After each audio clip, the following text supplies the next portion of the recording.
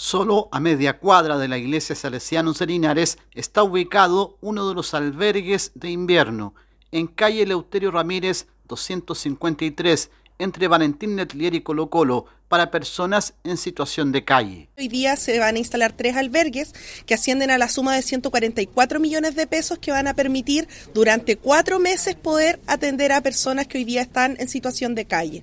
Para nosotros es muy importante poder dar a conocer una de las tantas iniciativas, entre esas también el Código Azul, que ya está activo en nuestra región. Tiene como objetivo recibir a 60 personas entre hombres y mujeres que se encuentran en situación de calle y, de esa manera, no sufran las bajas temperaturas, financiado por el Ministerio de Desarrollo Social y administrado por el municipio. Vamos a estar funcionando en dos puntos de la ciudad, en el Euterio Ramírez 253, donde estamos con más de 40 personas, y también en la intersección de la Alameda con eh, calle Freire.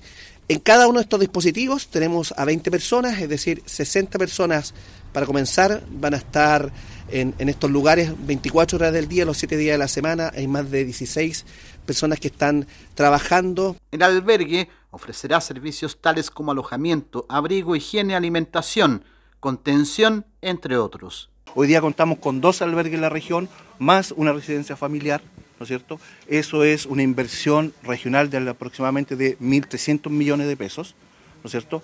Que abarca albergues, para la atención de las personas durante eh, las 24 horas, rutas médicas, que Linares también tiene su ruta médica, al igual que Talca y Curicó. Muchas veces nos complica poder llegar a todos lados. La comuna, eh, la extensión tanto urbana como rural es muy amplia y necesitamos quienes detecten cualquier caso, por favor, háganos saber al 1480 para ir con nuestro equipo en rescate que hoy día no podemos permitir que alguien esté pernoctando con estas bajas temperaturas. Si usted además ve una situación donde una persona necesita ayuda, puede llamar al fono 1480 de emergencias comunales para que el equipo pueda ir en su apoyo y evaluar trasladarlo a uno de los tres albergues en Linares.